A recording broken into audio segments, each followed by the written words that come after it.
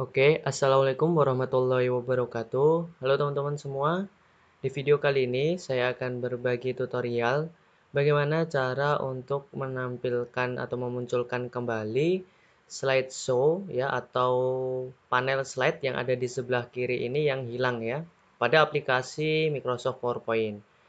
Nah, ketika teman-teman membuka atau sedang mengoperasikan aplikasi ini secara otomatis atau tampilan defaultnya akan seperti ini.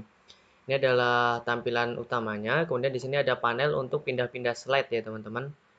Nah, permasalahannya ini nanti hilang ya. Kita ambil contoh. Nah, permasalahannya jadi seperti ini ya.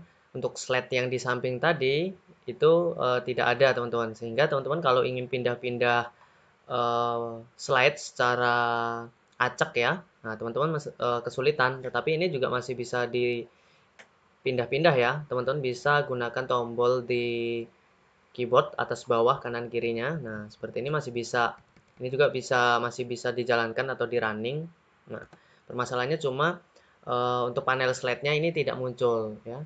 Caranya bagaimana? Teman-teman cukup uh, gampang sih ini teman-teman.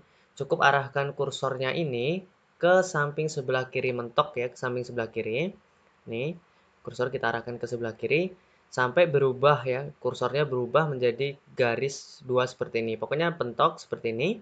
Kemudian tinggal diklik, kemudian tarik ke kanan uh, full ya, atau mentok seperti ini. Kemudian dilepaskan.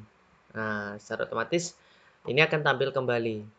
Nah, Permasalahannya itu terjadi mungkin tidak sengaja teman-teman uh, ke close ya atau menekan tombol X-nya ini. Nah, jadi secara otomatis ini juga akan hilang. Maka untuk memunculkan kembali tinggal ditarik saja seperti ini. Nah, itu atau contoh kasus lain teman-teman uh, mungkin di bagian presentation view-nya teman-teman tuh pilih yang uh, ini not specs ya, not spec ini. Nah, tinggal teman-teman nanti cek dulu di bagian view pastikan tampilan untuk presentation view-nya itu pilih yang normal view saja seperti ini ya.